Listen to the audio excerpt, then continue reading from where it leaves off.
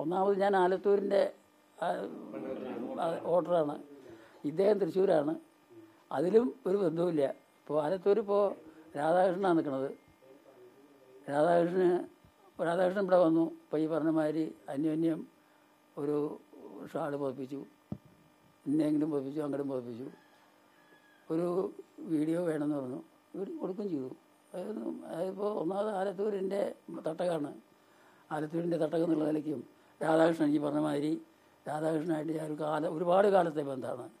എന്ന് വെച്ചാൽ കലാമിലായിട്ടുള്ള ബന്ധമുണ്ട് രാധാകൃഷ്ണന്. ആ ചേലക്കരയാണല്ലോ ചേലക്കരയാണല്ലോ അല്ല അത് അദ്ദേഹം തൃശ്ശൂർക്കാരനാണ് അതായത് തൃശ്ശൂർ മണ്ഡലമാണ് ആ ഞാൻ ആലത്തൂർ മണ്ഡല.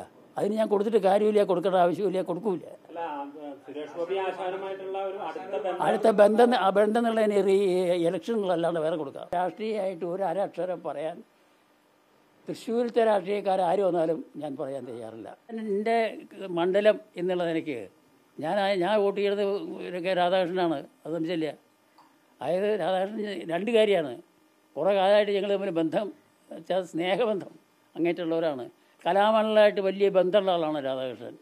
ഈ നിലയ്ക്ക് കൂട്ട് ഞാൻ അദ്ദേഹത്തിനെ രാഷ്ട്രീയക്കാരിൽ കൂടുതൽ കാണുന്നത് അദ്ദേഹത്തിന്റെ മാനസികച്ചാൽ പെരുമാറ്റത്തിന്റെ സുഖം സന്തോഷം.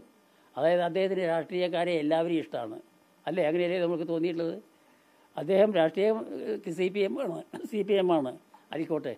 പക്ഷേ ഇതാണ് കാര്യം. അദ്ദേഹത്തിന്റെ പെരുമാറ്റം കൊണ്ടും അദ്ദേഹത്തിന്റെ സ്നേഹം കൊണ്ടും. ആ സ്നേഹത്തിന്റെ നിലവാരം ആലോചിച്ച് നോക്കുമ്പോൾ ആലത്തൂർ മണ്ഡലത്തിൽ മണ്ഡലത്തിൽ ഈ സ്ഥാനാർത്ഥിയായിട്ട് നിൽക്കുമ്പോൾ ഞാൻ സി പി എം ആണ്. അപ്പോൾ ആ അതിച്ചാൽ സി പി എം വെച്ചാൽ ഇടതുപക്ഷമാണ്.